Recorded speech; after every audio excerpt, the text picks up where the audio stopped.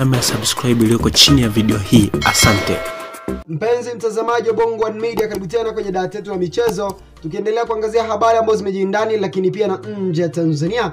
Leo tumeshuhudia mchezo safi kabisa wa raundi ya kumi ya ligi ya Vodacom Tanzania, dabi ya wana wakali yako kati ya Yanga Sports Club lakini pia na Simba, ambapo mchezo huu umemalizika mara baada ya Yanga na Simba kutoshana nguvu kwa bao moja kwa moja. Nitaomba nikuletee yale mambo kumi ambayo eh, Ali Kamwe mtangazaji wa Azam ameweza kuyaona katika mchezo huo, mambo kumi ambayo yameweza kujiri lakini pia yameonekana kati ya mchezo huo Yanga lakini pia na Simba.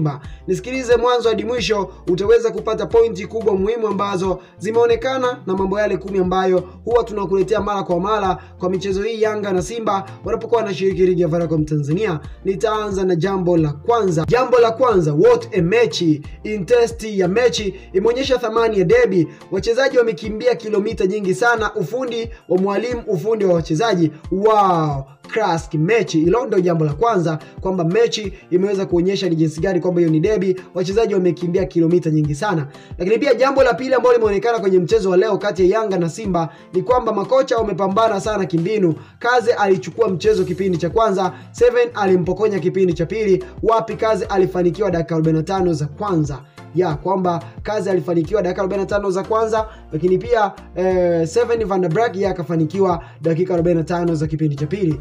Uh, namba tatu ni kwamba Kaze alikuja na approach ya 424 eh, kwamba Kaze alikuja na approach ya 424 akiwa presi Simba kwenye mid block system, mid block system. Twisila na Nchimbi eh, wakawekwa pembeni kupunguza zaidi spidi ya Kapombe na Shabalala, huku Faridi akiattack space katikati ya mstari wa viungo na mabeki. Hiyo ni namba tatu, lakini pia namba nne ni kwamba kipindi cha pili Kaze alitoa timu yake kwenye mid block na kuirejesha kwenye low block defensive system. Hii ikawapa uhuru viungo wa Simba kufikiria wakiwa na mpira. Kama kuna kitu Simba uh, walikimisi kipindi cha pili ni mwili wa Medi Kagere, kwamba hapa wangekuwa na Medi Kagere basi wangeweza kupata ushindi. Lakini pia jambo la tano, Mukoko Tonombe a great warrior. E, Mukoko Tonombe eh, great warrior, mwanajeshi mwenye thamani katika uwanja wa vita, alikuwa bora sana kwenye kukava distance kubwa katikati ya kiwanja. Hiyo ni namba tano. Lakini pia namba sita ni kwamba Luis Mixon e, si mawinga wote wanaweza kukutana na mabeki wakatili na bado wakavumilia kubaki kwenye ubora wake. Simba ilipomhitaji aliibuka na kuisukuma timu mbele. Hiyo ni namba sita. Lakini pia namba saba Uh, kuumia kwa Lamin Moro ilikuwa ni pigo kubwa kwa Yanga. Walimkosa kiongozi aliyekuwa anamhitaji kwenye low block. Lakini pia namba nane, namba nane Josh Onyango bao zuri, bati nafikiri benchi la ufundi la Simba litakuwa limepata homework nzuri ya kutibu udhaifu wa safu ya ulinzi wanapokutana na mastrika wenye kasi. Hiyo ni namba nane.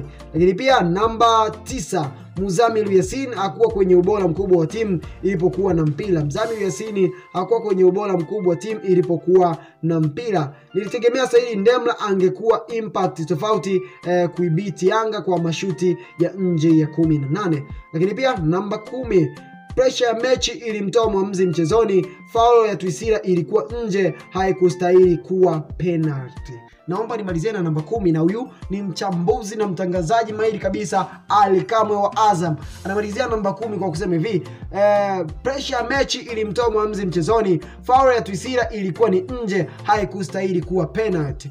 NB bila makando ilikuwa ni moja kwa sifuri, kwamba Simba wameweza kushinda basi eh, kwa sababu ya makando kando basi na ile penalty ambayo Yanga wamepewa, ndo hivo mchezo umemalizika moja kwa moja, lakini mchezo huu ulistahili kumalizika moja kwa sifuri, yani Simba kuishinda Yanga. Je, unazungumziaje mambo kumi ambayo Ali Kamwe mtangazaji wa Azam Media na ambaye ni mchambuzi wa habari za michezo, mambo kumi ambayo ameyaona na moja kwa moja nimekutajia. Usiache kusubscribe, eh, weka maoni yako pana comment, I mean comment section. See you next, time. bye bye.